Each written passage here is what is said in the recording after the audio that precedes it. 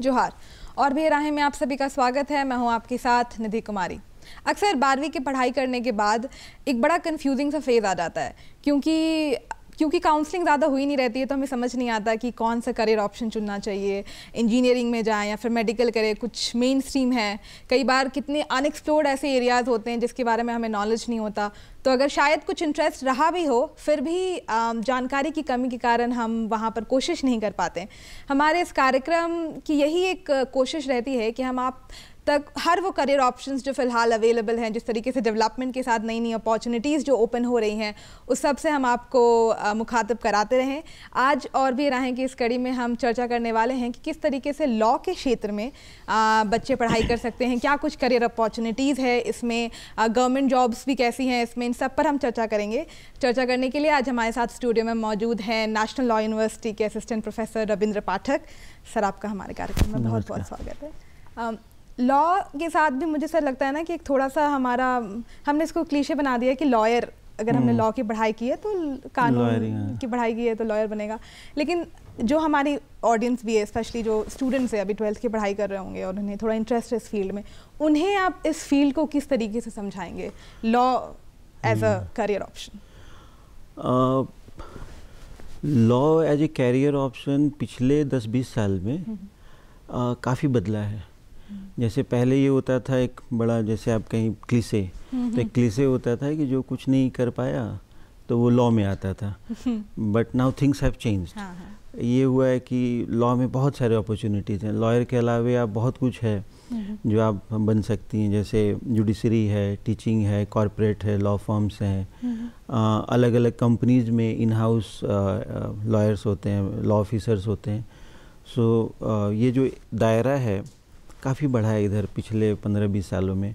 और ख़ास करके नेशनल लॉ यूनिवर्सिटीज़ के आने से काफ़ी अच्छे टैलेंटेड बच्चे जो हैं जो सीरियस हैं लॉ के प्रति वो लॉ में आ रहे हैं और अच्छा कर रहे हैं। तो अभी काफ़ी अच्छा समय है लॉ करने के लिए। आ, तो सर अभी जैसे बोर्ड्स का भी टाइम चल रहा है तो जो हम्म। बारहवीं की पढ़ाई कर रहे हैं जो बच्चे हाँ। और उन्हें लॉ में इंटरेस्ट है तो किस तरीके से आ, क्या कुछ एंट्रेंस एग्ज़ाम्स होते हैं आ, जिसके थ्रू बच्चे अप्लाई कर सकते हैं? जैसे जितने भी नेशनल लॉ यूनिवर्सिटीज़ हैं लगभग 25 के आसपास लॉ यूनिवर्सिटीज़ हैं तो उनके लिए क्लैट एग्ज़ाम होता है कॉमन लॉ एडमिशन टेस्ट। तो उसके लिए है अभी से वो तैयारी कर सकते हैं। अच्छा पहला जो प्राइमरी फोकस होना चाहिए जो लोग तैयारी कर रहे हैं उनको इंग्लिश पे बड़ा विशेष ध्यान देना चाहिए क्योंकि इंग्लिश जो है बहुत ज़रूरी है लॉ की पढ़ाई जो है इंग्लिश के थ्रू ही है। प्लस क्या है कि एक जनरल अवेयरनेस और थोड़ा बहुत एक पेपर होता है लीगल रीजनिंग ताकि आप मतलब आप लॉयर बनने वाले हैं तो एक होता है एक्सपेक्टेशन कि आपका जो एक रीजनिंग प्रोसेस है वो उस लेवल का होगा जहाँ कि आप as a lawyer as a जज कुछ अच्छा कर पाएँ। भिन्न भिन्न प्रकार के केसेज आते हैं फैक्ट्स अलग हैं कभी कभी ऐसा केस आता है कि बड़ा चैलेंजिंग है कैसे करें कैसे डिसाइड करें। तो उसमें ये होता है कि अगर आप मतलब आपका रीजनिंग पावर अच्छा है हम्म। तो यू कैन डील बेटर तो ये जो है लीगल रीजनिंग की थोड़ी पढ़ाई करें। इंग्लिश बेसिक है। और बस यही करंट अफेयर्स और ये सब। अच्छा जो लोग क्लैट के एस्पिरेंट हैं, वो लोग क्लैट के वेबसाइट पे जाएँ। वहाँ पे सारा डिटेल दिया हुआ है कि जैसे दो घंटे का एग्ज़ाम है, पहले ऑनलाइन होता था, अब ऑफलाइन है। तो उसमें क्या है कि अब प्रीवियस ईयर्स का क्वेश्चन पेपर है, वो देखें। ताकि एक आइडिया बनाएँ कि अगर इस एग्ज़ाम के लिए अपियर होना है तो क्या क्या प्री रिक्विजिट्स हैं क्या क्या ज़रूरी तैयारी जो है वो करना चाहिए? तो उसमें यही है इंग्लिश है लीगल रीजनिंग है आ, कुछ मैक्सिम्स होते हैं मैक्सिम्स जैसे लॉ में क्या है कि लॉ तो जनरली इंग्लिश में पढ़ाते हैं लेकिन उसमें बहुत सारे मैक्सिम्स होते हैं लैटिन भाषा के। अच्छा। जैसे मान लीजिए कि क्रिमिनल लॉ है तो क्रिमिनल लॉ में अगर कोई क्राइम करता है तो कहा जाता है कि he should have mens rea mens rea एक लैटिन टर्म है तो उसका मतलब गिल्टी माइंड कि अच्छा आपका माइंड में तो कुछ guilt you had some bad intention. तो वो कुछ बेसिक्स जो है लॉ के वो पढ़ के रखने चाहिए मतलब नॉट इन डिटेल बिकॉज़ ये इंट्रेंस पर्पज़ के लिए बाद में तो आपको लॉयर बनना ही है पाँच साल आपको पढ़ना ही है लेकिन ये बेसिक्स है ये सब जानना ज़रूरी है। बिल्कुल मतलब एक बार आसानी होगी अगर एग्ज़ाम हाँ, में भी और उसके बाद जब हाँ, आप एक बार इन कर जाते हैं हाँ होता है ना कि बहुत सारे गाइड बुक हैं रीडिंग मटेरियल हैं ऑनलाइन ऑफलाइन अवेलेबल हैं तो ये आइडियल टाइम है कि एग्ज़ाम के छः महीना पहले भी थोड़ा बहुत देखना शुरू करें तैयारी शुरू करें। सो दैट सफिशियंट जैसे अभी कहा सर आपने कि अराउंड 25 नेशनल लॉ यूनिवर्सिटीज़ हैं हमारे यहाँ। तो क्या लॉ में भी ऐसे हैं कि अगर आपको एडमिशन मिल गया तो अलग अलग कोर्सेज अवेलेबल हैं एक बार आप लॉ में ले रहे हैं या फिर कुछ एक कॉमन एलएलबी और एलएलएम नहीं एलएलबी है ग्रेजुएशन कोर्स है उसके बाद एलएलएम है for academics post graduation course है। अच्छा एलएलबी में क्या है कि कई जगह है बी एल है कई जगह है बी एल ऑनर्स है। तो B L B on B L L B honours course में क्या होता है कि अलग अलग स्पेशलाइजेशन होता है जैसे आपका कॉरपोरेट लॉ में स्पेशलाइजेशन हो गया कॉन्स्टिट्यूशनल लॉ में स्पेशलाइजेशन हो गया क्रिमिनल लॉ में हो गया। तो ये डिपेंड करता है लेकिन पाँच साल के वो जो ड्यूरेशन है उसमें इतने सारे पेपर्स हैं कि अगर आप वो ढंग से पढ़ लें हम्म, हम्म। अगर पाँच साल ढंग से पढ़ें तो फिर जो भी ऑप्शन है कैरियर ऑप्शन लॉ में आप चूज़ करना चाहें जुडिशरी है कॉरपोरेट है लिटिगेशन है टीचिंग हम्म। है तो यू विल डू वेल आपका होराइजन एक बार बड़ा हो जाता बड़ा हो जाता है हाँ क्योंकि जो सिलेबस है वो इतना वाइड है हम्म। और कम्प्रिहेंसिव है कि हम्म। अगर ढंग से आप पाँच साल बिताएँ वहाँ पे। अच्छा ये भी है कि ट्रेडिशनल लॉ लॉ स्कूल्स जो होते थे उससे हट के लॉ यूनिवर्सिटीज़ में एक्सपोजर बहुत है मुड कोर्ट्स हैं। मुड कोर्ट मतलब कि जहाँ की आपको सिखाया जाता है कि how it happens in courts अच्छा। हम्म, हम्म। हाँ कि आपको एक केस दिया जाएगा हम्म, और केस को आपको तैयार करना है। आप एक पार्टी हैं कुछ स्टूडेंट अपोजिट पार्टी हैं फिर जो टीचर्स होते हैं वो जज बनते हैं। अच्छा फिर आपको ट्रेन किया जाता है कि this is how it happens in courts तो वही बड़ा इंटरेस्टिंग है सेमिनार है कॉन्फ्रेंसेज है। अच्छा जो सेमेस्टर ब्रेक होता है तो उसमें बच्चे जो है इंटर्नशिप के लिए जाते हैं सीनियर एडवोकेट्स हैं लोअर कोर्ट्स हैं। तो ये पाँच साल में बड़ा अच्छा एक ट्रेनिंग है कि मतलब आ, आप प्रिपेयर्ड हो जाते हैं हम्म, हम्म, हम्म। कि मतलब जब लीगल प्रोफेशन में जाना है कोई भी एरिया हो लीगल प्रोफेशन का तो वहाँ पे आप प्रिपेयर्ड हैं प्रोवाइडेड कि आप पाँच साल ढंग से वहाँ पे उस टाइम। को यूटिलाइज करें जो आपको है हम्म। मतलब मिला है बिल्कुल um, एक तो सर हमने क्लैट पे चर्चा की हाँ। लेकिन कई बार ऐसा होता है कि अगर ये एग्ज़ाम या मिस हो गया या फिर जो हाँ, बच्चे हाँ, हैं अलग अलग एग्ज़ाम्स प्रिपेयर करना चाह रहे हैं हाँ। तो क्या कुछ और भी एग्ज़ाम्स है जिसके थ्रू या फिर बाकी कोई और भी यूनिवर्सिटी है खासकर अभी अगर इंडिया में बात हाँ, करें जैसे कुछ अच्छे प्राइवेट यूनिवर्सिटीज़ हैं जहाँ हम्म। जहाँ बच्चे जा सकते हैं जैसे जिंदल ग्लोबल लॉ यूनिवर्सिटी है वहाँ है और भी है दिल्ली में है बैनेट यूनिवर्सिटी है साउथ में क्राइस्ट है। हम्म, हम्म, हम्म। तो बहुत सारे यूनिवर्सिटीज़ हैं प्राइवेट यूनिवर्सिटीज़ हैं प्राइवेट लॉ स्कूल्स हैं जहाँ बच्चे जा सकते हैं। तो ऐसा नहीं कि क्लैट में अगर अच्छा नहीं हुआ तो it is the end of the route आप जा सकते हैं। और भी ऑप्शन है। ये होता है कि थोड़ा सा you will have to pay little more अच्छा हाँ, हाँ वहाँ पे जो है फ़ी है थोड़ा ज़्यादा है compare to law schools but है ऑप्शन है। अच्छा इसके अलावा ये भी है कि कुछ traditional traditional in the sense जो लॉ स्कूल के पहले वाले जो यूनिवर्सिटीज़ डिपार्टमेंट या लॉ स्कूल से जैसे बीएचयू में लॉ स्कूल है डिपार्टमेंट है दिल्ली यूनिवर्सिटी है तो इन सब में भी मतलब पढ़ाई जो है हम्म। बहुत अच्छी है तो आप जा सकते हैं सर जैसे बाकी फील्ड्स में ऐसा होता है कि टेंथ के बाद कुछ तो ऐसे होते हैं सर जिन्हें ट्वेल्थ के बाद भी दिमाग हाँ। मनाने में प्रॉब्लम हो जाती है कि कहाँ पे या फिर किस फ़ील्ड हम्म। में जाए लेकिन कुछ बच्चे सर ऐसे होते हैं ना जो एकदम अर्ली जिन्होंने डिसाइड कर लिया है हम्म। तो मान लीजिए टेंथ का एक बच्चा है है ना हम्म। आ, उसने सोच लिया है कि लॉ में करियर बनाना है और अब आपके पास तीन स्ट्रीम है लॉ के साथ ऐसा केस है सर कि यहाँ पर आपको कोई पर्टिकुलर स्ट्रीम में इसकी पढ़ाई नहीं होती। हम्म। लेकिन क्या कुछ एक ऐसा स्ट्रीम होगा जो शायद आगे जाकर उसके लिए बेनिफिशियल हो सकता है उस तीनों में से आर्ट हाँ, साइंस जैसे पहले तो ये है कि वही इंग्लिश बहुत अच्छा होना हम्म, चाहिए हम्म। क्योंकि आपको केसेज पढ़ने होते हैं। अच्छा इंडिया में केसेज होते भी हैं 200 पेज 600 पेज हज़ार पेज के प्लस सारे बुक्स जो हैं वो इंग्लिश में हैं। अच्छा कोर्ट में आर्गूमेंट जो होता है स्पेशली हायर कोर्ट्स में इंग्लिश में है। तो इंग्लिश बहुत अच्छा होना चाहिए। अच्छा अच्छे बुक्स जो हैं वो इंग्लिश में अवेलेबल हैं। हम्म। तो वो तो पहला रिक्वायरमेंट है। दूसरा ये है कि जब फाइव ईयर्स एल में जाते हैं तो शुरुआती जो एक दो सेमेस्टर हैं वहाँ पे आपको हिस्ट्री पढ़ना होता है इकोनॉमिक्स हम्म। पढ़ना है फिलोसफी पढ़ना है। तो उस हिसाब से अगर कोई आर्ट्स ऑप्ट करे हम्म, तो वो ज़्यादा अच्छा अच्छा आर्ट्स में जैसे इकोनॉमिक्स है हिस्ट्री है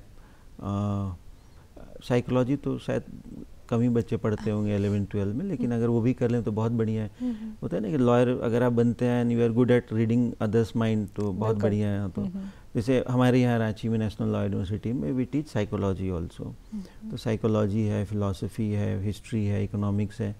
तो ये थोड़ा सा ज़्यादा अच्छा होता है। It gives you an edge है ना कि बाकी लोगों से। अच्छा वैसे जो कॉमर्स करके जाएँगे तो उनको भी थोड़ा सा बाद वाले सेमेस्टर्स में थोड़ा सा वो फेमिलियरिटी होता है कि you are familiar with some basic aspects of corporate law में मुझे लगता है हाँ थोड़ा सा मेंटली यू आर कंफर्टेबल कि हाँ आई नो बिज़नेस टर्म्स थोड़ा business terms you are familiar with तो हाँ है।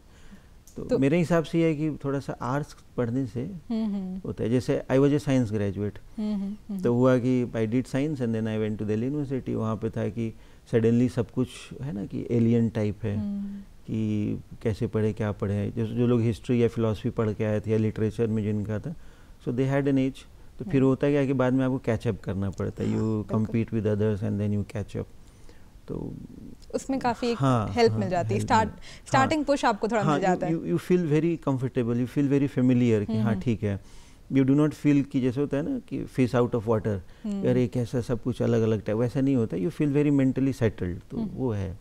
अच्छा क्योंकि जितना हमने सुना है लॉ में तो एक हमने कहा ना कि एक आइडिया है कि लॉयर ही होगा। हम्म। लेकिन एक बच्चे ने जब लॉ की पढ़ाई कर ली है हम्म। तो उसके बाद फिर क्या कुछ करियर अपॉर्चुनिटीज़ हैं उसके पास? अच्छा एक बार अगर वो लॉ कर चुका है एलएलबी का degree then he can go in litigation litigation courts में लोअर कोर्ट है कॉन्स्टिट्यूशनल कोर्ट्स हैं मतलब हाई कोर्ट सुप्रीम कोर्ट वहाँ सीनियर के अंडर काम करे कुछ दिन काम सीखें उसके बाद खुद का प्रैक्टिस कर सकते हैं तो भी काफ़ी लुक्रेटिव है। अच्छा लोअर कोर्ट्स में जो है डिस्ट्रिक्ट जुडिशरी में अच्छे लॉयर्स की बहुत कमी है। तो वहाँ जा सकते हैं वहाँ भी काफ़ी अच्छा स्कोप है। हाँ एक है ये कंडीशन कि आपको प्रिपेयर्ड रहना होता है कि लिटिगेशन की इनिशियल ईयर्स में शुरुआती दौर में मेहनत कर करना होता है। You have to learn basics ना तो हर चीज़ जो होता है जैसे लॉ स्कूल्स में हम लोग पढ़ाते हैं मतलब we teach theoretical things cases के बारे में सब हम्म। कुछ है मुटकोट है सब कुछ है। लेकिन फिर क्या होता है कि जब आप जाते हैं फ़ील्ड में तो हम्म। कुछ तो फ़र्क पड़ता ही है। हम्म। जैसे एक पुराना वो इंग्लिश में कहावत है ना कि there are many slip between cup and the lip तो कुछ है जो कि लॉ स्कूल्स और कोर्ट रूम में कुछ है जो आप वहाँ जाके ही सीख पाते हैं कि रोज़ सुबह जाना है and there is a grinding for the entire day फिर दिन भर उसमें सीनियर के साथ काम कीजिए लॉयर्स को समझिए जजेज को समझिए उस प्रोसेस को समझिए। तो ये है लिटिगेशन है। अच्छा दूसरा ऑप्शन है कि जुडिशरी वी नीड गुड जजेज तो जुडिशरी एक बड़ा अच्छा ऑप्शन है। हर स्टेट का अपना एग्ज़ाम होता है जुडिशल सर्विसेज़ एग्ज़ाम तो उसकी तैयारी कर सकते हैं बच्चे। अच्छा, क्योंकि हम्म। जैसे we need good lawyers we need good जजेज also है ना? So in fact we need good people in all spheres so यहाँ भी है कि जजेज जो हैं मतलब अगर लॉ स्कूल से आए तो अच्छा। जैसे कल ही भारत के मुख्य न्यायाधीश जो हैं जस्टिस चंद्रचूड़ तो उनका वही था कल के स्पीच में कि लॉ स्कूल्स में जो बच्चे हैं अगर वो आए जुडिशरी में तो वो ज़्यादा अच्छा होगा। मतलब it will improve the quality मतलब ये नहीं कि क्वालिटी ख़राब है but it will become even better और भी अच्छा होगा। तो उस हिसाब से जुडिशरी बड़ा अच्छा ऑप्शन है। अच्छा जुडिशरी की तैयारी के लिए भी है कि पाँच साल जो है जैसे लॉ में दो टाइप दो डिवीज़न है substantive law and procedural law तो सब्सटैंटिव लॉ में है जो ऐसा लॉ जो आपके राइट्स ड्यूटी से रिलेटेड है। दूसरा होता है प्रोसीजरल लॉ जो कि कोर्ट प्रोसीजर जैसे मान लीजिए कि कोई केस होता है तो कैसे केस फ़ाइल करना है एफआईआर है ना बेल और ये सब तो प्रोसीजरल लॉ है।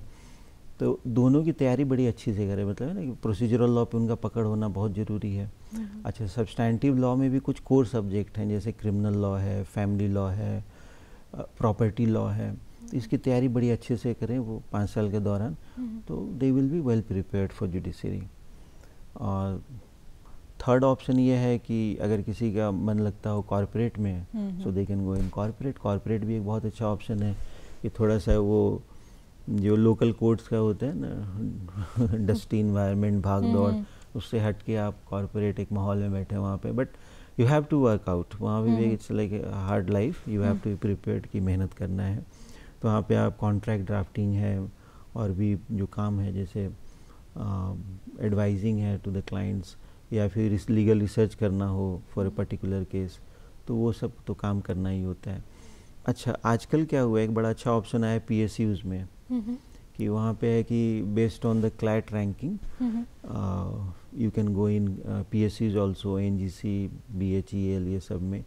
तो उसमें ही बड़ा अच्छा है कि लॉ ऑफिसर हैं आप वहाँ पे it's very normal life different from litigation तो ये भी एक बड़ा अच्छा ऑप्शन है पी एस यूज़ में। बिल्कुल और मुझे लगता है पीएसयू में वो आपके क्लैट के रैंकिंग के बेसिस क्लैट के रैंकिंग हाँ तो आजकल क्लैट का क्रेज इसलिए भी बढ़ा है कि पहले होता था कि एलएलबी के बाद क्लैट दे के आप एलएलएम में जाएँ एलएलएम करें एकेडमिक्स में जाएँ।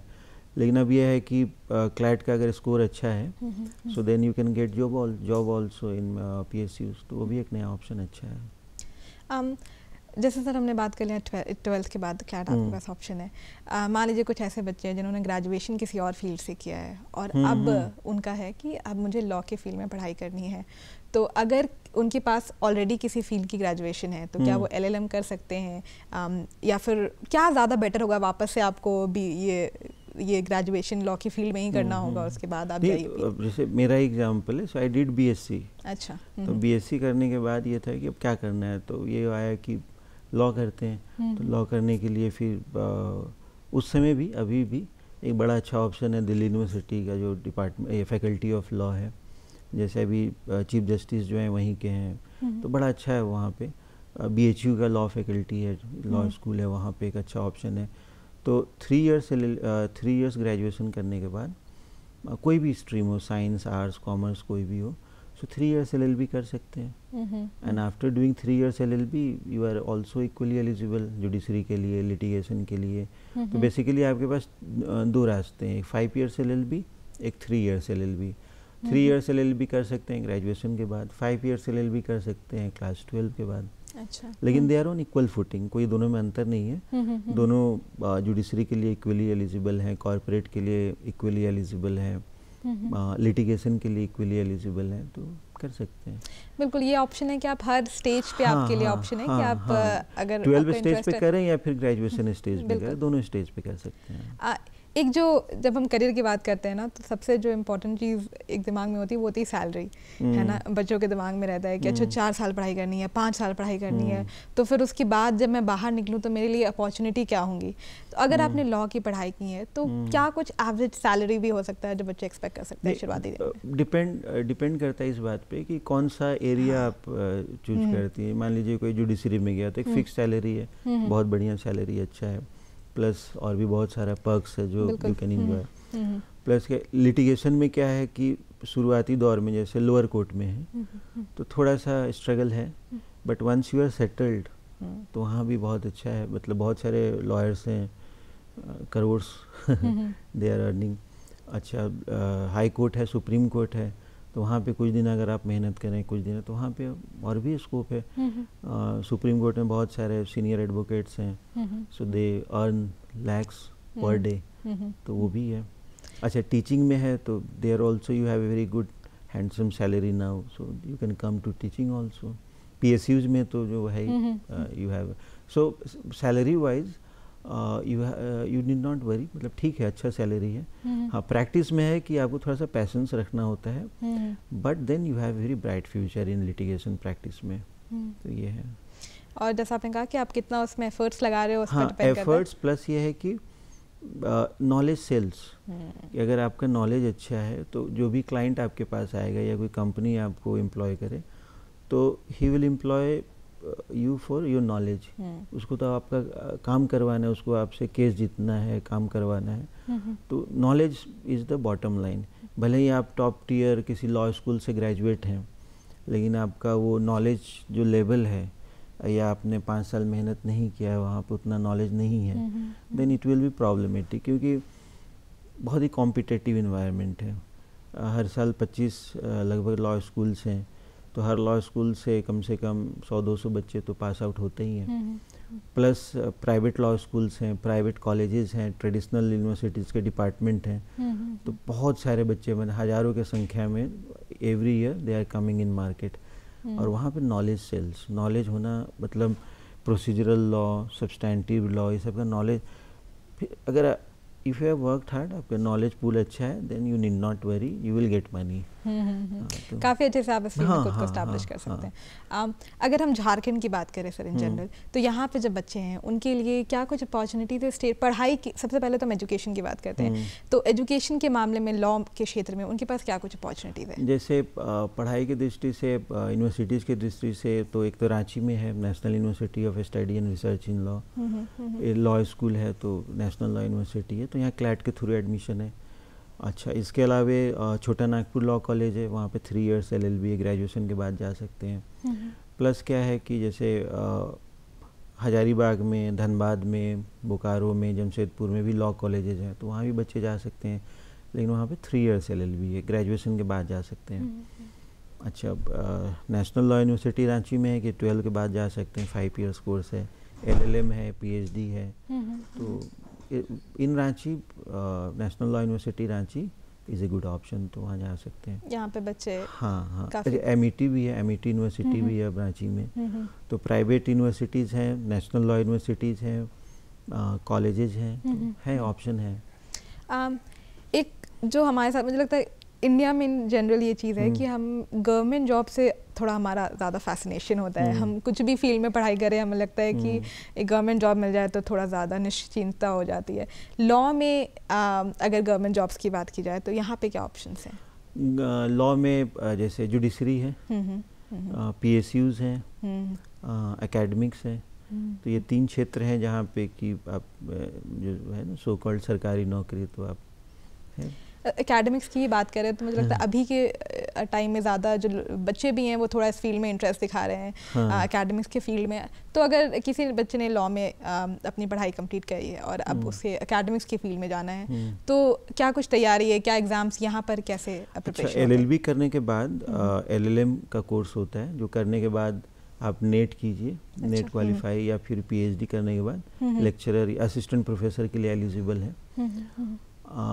एल एल एम एडमिशन लेने के लिए भी क्लैट का एग्ज़ाम होता है। जैसे अंडर ग्रेजुएशन के लेवल पे क्लैट है ट्वेल्व के हम्म, बाद हम्म, हम्म। वैसे फाइव ईयर्स एल के बाद भी क्लैट एग्ज़ाम है फॉर एल एल एम तो उसमें भी क्या है कि अगर आपकी पढ़ाई अच्छी है पाँच साल में जो कोर्स रहा है एल एल बी का या थ्री ईयर्स एल में तो कुछ बेसिक पेपर हैं पाँच छः पेपर हैं जिस पे थोड़ा सा पकड़ अच्छा है यू आर वेल वर्स्ड तो फिर कोई दिक्कत नहीं है वो एंट्रेंस एग्ज़ाम होता है वही क्लैट के साथ ही होता है अंडर ग्रेजुएट के साथ ही। तो आप ठीक है यू आर थ्रू किसी भी क्षेत्र में सर जब हम पढ़ाई करने जाते हैं ऐसे भी तो हमें हम्म। कहा जाता है कि कुछ चीज़ें हैं जिसके लिए आपको थोड़ा तैयार होकर जाना चाहिए। मास हम्म। कॉम में जब मैं जा रही थी तो मुझे कहा गया कि बिल्कुल शर्माना नहीं है तुम हम्म। जितना शर्माओगे तुम्हारे लिए बहुत बड़ा चैलेंज है। तो जो बच्चे लॉ की पढ़ाई करने जा रहे हैं उन्हें क्या कुछ एक चैलेंज फेस करने की ज़रूरत हाँ, पड़ सकती है और तैयार कैसे रहना है? हाँ उनको भी नहीं शर्माना चाहिए। क्योंकि लॉ जो है मतलब you are working in among people तो वहाँ भी है कि एवरी डे जो है you have to deal with clients clients हैं डिफरेंट केसेस हैं.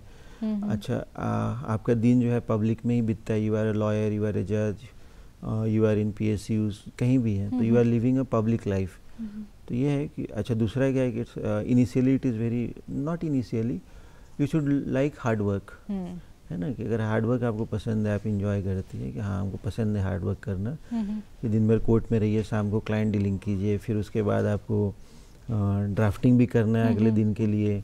प्लस क्या है कि आ, आपको अपडेटेड भी रहना है supreme court and high court के नए जो जजमेंट आते हैं नए नए उनसे अपडेटेड भी रहना है क्योंकि लॉ बदलता रहता है। जैसे है ना कि आज एक जजमेंट आया पता चला कि पाँच साल बाद वो ओवर रूल हो गया कोई नया जजमेंट आ गया जैसे होमोसेक्सुअलिटी वाले केस में हाँ। हुआ था कि वी हैड थ्री केसेस हाँ थ्री सेवेंटी सेवन वाले में। हम्म, हम्म। तो है कि आपको अपडेटेड अगर आपको पढ़ना पसंद है हम्म। तो लॉ बहुत अच्छा एरिया है मतलब क्षेत्र है आपके लिए कि आप पढ़ते रहिए बुक्स पढ़िए। जैसे लॉ में एक बहुत अच्छा पेपर है जूरिस्प्रूडेंस लीगल फिलोसफी तो उधर भी थोड़ा सा आपका टिल्ट है कि थोड़ा सा हम लॉ का फिलोसफी पढ़े तो वहाँ भी काफ़ी स्कोप है। प्लस क्या है कि प्रोसीजरल लॉ है। जैसे सब्सटैंटिव लॉ में प्रॉपर्टी लॉ है। प्रॉपर्टी लॉ बहुत मैटर करता है जैसे मतलब प्रॉपर्टी डिस्प्यूट तो बहुत सारा है मेट्रीमोनियल डिस्प्यूट्स है फैमिली लॉ हम्म। है तो अगर आपको डिस्प्यूट पसंद है हार्डवर्क पसंद है तो लॉ। आपके लिए है पढ़ना पसंद है तो लॉ आपके लिए अच्छा है